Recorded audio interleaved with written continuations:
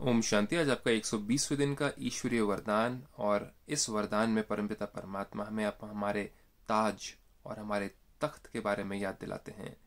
देखा जाए तो ताज और तख्त तो राजधानी में होता है, लेकिन परमात्मा कहते हैं, जब तक तुम अपने मन और बुद्धि रूपी शक्तियों को कंट्रोल में नहीं लाते, राजा बन करके तब तक तुम्हारा वो ताज और तुम्हें वो तख्त नहीं मिलेगा सत्युग का। तो देखें, आज परमात्मा चाहते क्या है कि हम वो कैसे उस ताज को पहचाने और उस तकत को पहचाने, जिसको हम भूल चुके हैं कई जन्मों से। तो आज बाबा कहते हैं,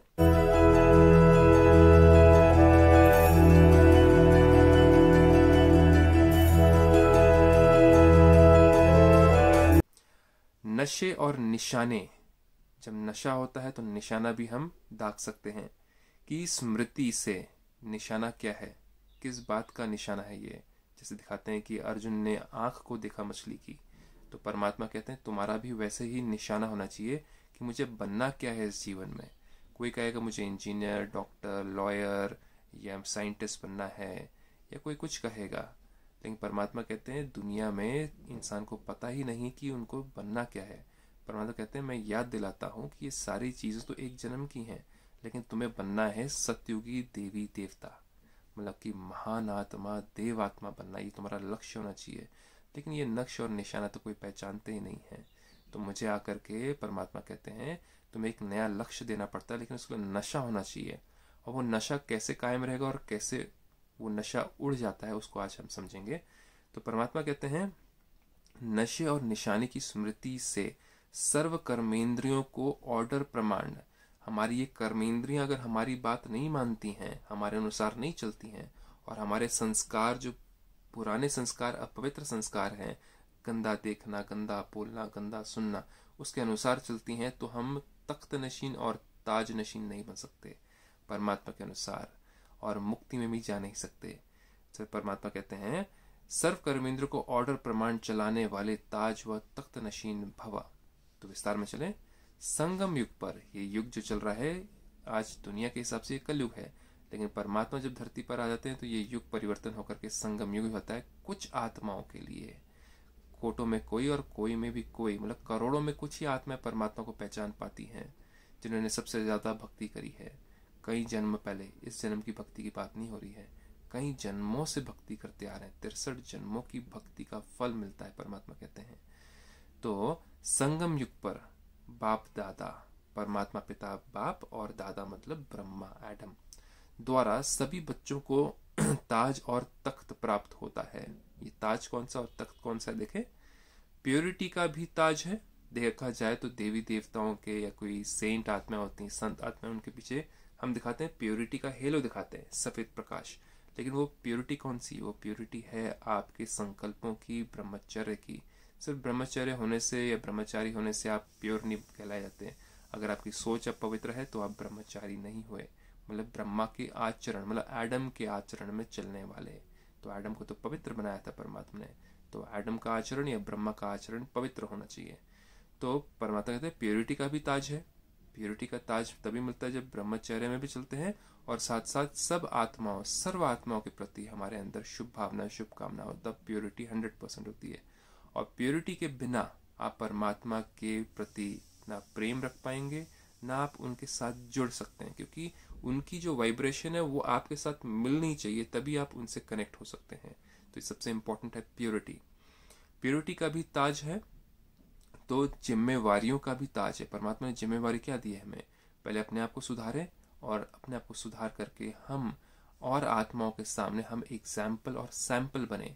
तो ये हमें बहुत बड़ी रिस्पॉन्सिबिलिटी दी है क्योंकि परमात्मा सारे विश्व को कलयुग से सतयुग में परिवर्तन करने आते हैं। लेकिन करने आते हैं तो क्या है? वो तो चुटकी में कर सकते हैं, लेकिन परमात्मा कहते हैं, जाएगा कौन उस सतयुग में? तुम बच्चे। तो तुम बच्चों को परिवर्तन करता हूँ, तुम्हारे द्वारा ये गंदी दुनिया को फिर से मैं साफ़ करवाता हूँ। पहले तुम गंदे बन चुके हो, पतित बन चुके हो तो तुम तो पहले पावन बनो।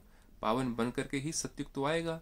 नहीं तो मैं चुटकी बजाऊं और सत्युग आ जाए फ्री में तो कुछ मिलता नहीं इस दुनिया में, हर चीज़ में मेहनत करनी पड़ती है।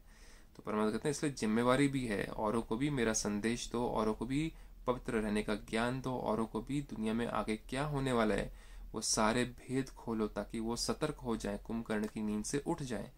तो बाबा कहते हैं प्योरिटी का भी ताज है तो जिम्मेवारियों का भी ताज है, अकाल तख्त पर भी है है ना? अकाल तख्त अकाल, जिसको काल नहीं खा सकता, वो है मैं आत्मा और आप आत्मा। यह है तखत, क्योंकि आत्मा यहाँ बैठ करके, जहाँ बिंदी लगाते हैं, टीका लगाते हैं, आत्मा यहाँ बैठ करके, इस तखत पर बैठ करके सारे शरीर को चलाती है। और मैं आत्मा शरीर से निकली तो ये शरीर चलना बंद। आप आत्मा अपने शरीर से निकले तो आपका शरीर चलना बंद। तो ये आपका तखत हो गया, अकाल तखत। और परमात्मा का अकाल तखत तो परम धाम में, जहाँ पे वो बैठते हैं, विराजमान करते हैं। तो परमात्मा कहते हैं, अकाल तख्त भी है तो दिल तख्त नशीन भी हो। तो अपना तख्त भी पहचान लिया और परमात्मा के दिल में बैठना। दिल मतलब उनकी बुद्धि में उनको हम याद आए। तो दुनिया वाले तो परमात्मा को याद करते हैं, लेकिन परमात्मा किनको याद करते हैं, वो सबसे ज़रूरी है। तो उनके दिल में बैठना मतलब उनके अनुसार चलना, पवित्र बनना, वो ताज को मेंटेन करना। तो अकाल तख्त भी है तो दिल तख्त नशीन भी है। कितना सुंदर वर्ड है ना, दिल तख्त नशीन। जब ऐसे डबल ताज डबल ताज, एक वो ताज हो गया प्योरिटी का और एक हो गया रिस्पॉन्सिबिलिटी का ताज, परमात्मा के साथ में मददगार बनना। जब ऐसे डबल ताज और तख्त नशीन बनते हो तो नशा और निशाना स्वतः याद रहता है कि नशा क्या है, कि मैं किसका बच्चा हूँ, मुझे बनना क्या है, आगे भविष्य में मैं, मेरा भविष्य मुझे पुकार रहा है, मुझे उसके अनुसार अभी अपने अंदर परिवर्तन करने हैं, अपने आप को परिवर्तन करके आगे बढ़ना इस चीज़ का नशा। और नशाना दागना कि मुझे पवित्र दिव्य गुणधारी मनुष्य आत्मा, देवात्मा बनना है। तो परमात्मा कहते हैं, स्वतः याद रहता है कि मेरा लक्ष्य क्या है। फिर यह कर्मेंद्रियाँ भी जी हजूर करती हैं। तो अगर नशा है तो ये ऑर्डर मानेंगी क्योंकि कर्मेंद्रिया मंत्री हैं और राजा मैं आत्मा।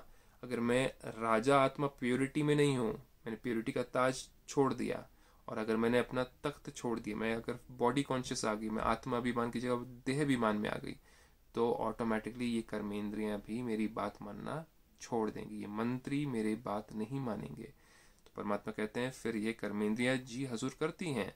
अगर मैं लक्ष्य के ऊपर है, निशाने में दाग रहा हूँ।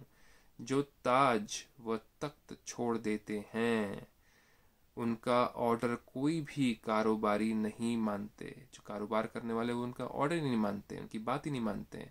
तो अगर मुख से कुछ बोलना नहीं था, निकल गया, आँख से कुछ गंदा देखना था, देख लिया, कान से कुछ गंदा नहीं सुनना था, सुन लिया। इसका मतलब मैं आत्मा अपने मन, बुद्धि और संस्कार की अभी तक राजा नहीं बनी हूँ, क्योंकि मैंने प्योरिटी धारण नहीं करी है। तो परमात्मा कहते हैं, उन ताज और तख्त को याद करो और मेरे साथ जुड़ो और मेरे दिल में बस जाओ। दिल में बसने का तरीका परमात्मा सिखाते हैं। ब्रह्मा कुमारी, इसमें आप भी आए, आप भी सीखें इसमें कि कैसे मैं परमात्मा मुझे याद करें। दुनिया परमात्मा को याद करती है, लेकिन परमात्मा मुझे याद करे। तो आज का ये वरदान ईश्वरी वरदान, आज आपका दिन शुभ हो, आप स्वस्थ रहें। ओम शांति।